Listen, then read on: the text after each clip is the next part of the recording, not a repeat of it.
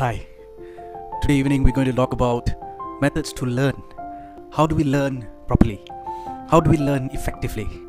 How do we learn efficiently? We can follow this simple mantra learn, unlearn, relearn, learn it completely, and apply whatever that you have learned in your daily life. A simple mantra that you can use to make sure that you learn sufficiently, efficiently, most effectively. So, what is it? What is this learn and then unlearn, and then relearn, and then learn it completely? And then, what is applying whatever that we have learned in our daily life?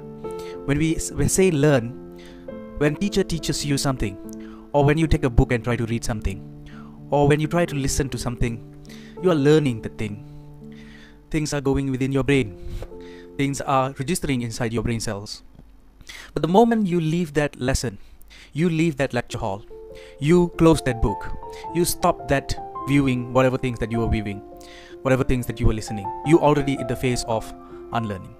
Unlearning is a process that you are not focusing on that topic anymore. Something else is coming into your brain, something else that you are focused on. So you are unlearning the thing that you have learned before. Slowly, you will start to forget whatever that you have learned for the first time.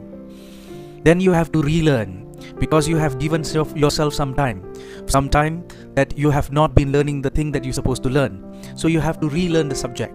After you have relearned, make sure you try to learn it completely. Things can be learned completely by looking at the details, the minute details, or the things that you have missed during your learning program or your learning process. And finally, after you have learned it completely, that means you have known the learning process completely, then finally you apply whatever that you have learned in your daily lives. Some people might be asking, How can I apply maths in my daily life? Simple. Look at this universe in the form of mathematics. How can I uh, apply whatever things that I've learned in biology? What am I going to apply the knowledge about a cell in myself? Now you are made up of a cell. Now you have to take care of yourself.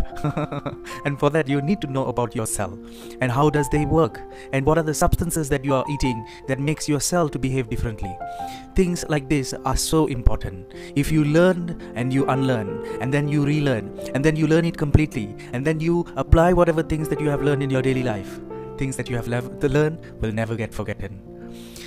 This is a simple proverb which was created about 3000 to 4000 years ago by a great scholar by the name of Thiruvalluvar. கற்க கசடர கற்றவை கற்றபின் நிற்க அதற்கு தக Thank you.